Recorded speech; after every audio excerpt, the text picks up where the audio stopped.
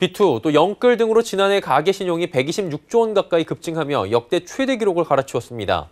한국은행이 발표한 2020년 4분기 가계 신용 통계에 따르면 4분기 말 기준 가계 신용 잔액은 1,726조 1천억 원으로 통계 작성을 시작한 2003년 이래 가장 많았습니다. 2003년 이전 가계 신용 규모는 지금보다 훨씬 작았기 때문에 4분기 잔액이 사상 최대 기록이라는 게 한국은행의 설명입니다. 4분기 가계 신용은 2016년 4분기, 2020년 3분기에 이어 세 번째로 많이 증가했습니다.